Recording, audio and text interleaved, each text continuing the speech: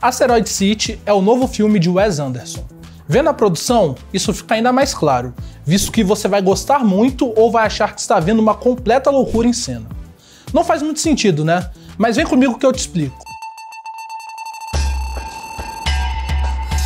Meu nome é Vinícius Veloso, sou repórter de entretenimento do Metrópolis e tive a oportunidade de assistir o novo filme de Wes Anderson. Para quem é fã do diretor, Asteroid City será uma boa forma de se entreter. Logo de cara, o telespectador é informado de que verá uma apresentação de teatro.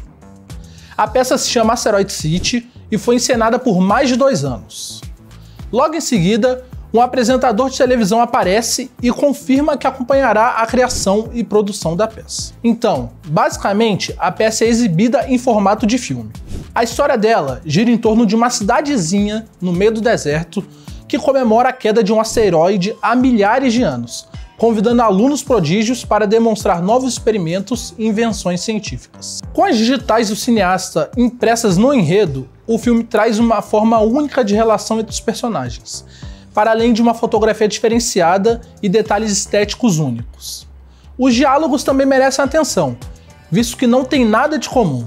O estilo de conversas em cena é tão específico que por vezes chega a perder o sentido.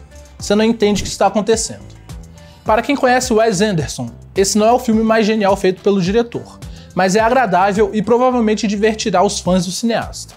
Agora, para quem está vivendo a experiência Wes Anderson pela primeira vez, tudo parecerá uma grande loucura. Isso é um fato.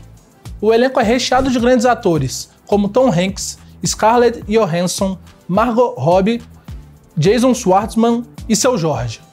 Pois é, até o brasileiro faz uma participação no filme, mas a história dele, bem como a de todos os outros atores citados, é pouco aprofundada. Em certo momento, essas estrelas parecem apenas figurantes diante do enredo que se apresenta em cena. Extraterrestres, asteroides, romances cômicos, grandes atores e uma peça de teatro sendo reproduzida em um filme podem ser demais para quem quer apenas curtir um cineminha sem maiores preocupações. As piadas não são explícitas e se tornam boas pelo absurdo que é visto em cena.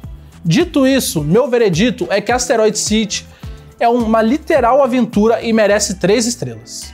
Para mais avaliações de filmes, curta o vídeo, compartilhe e siga o Metrópolis nas redes sociais. Valeu!